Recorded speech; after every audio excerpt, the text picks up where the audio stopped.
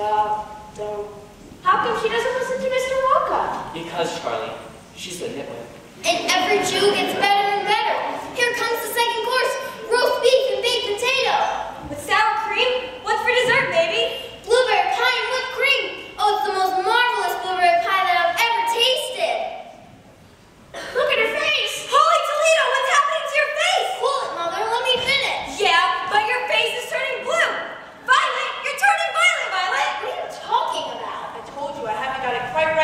You could say that again. Look what it's done to my kid.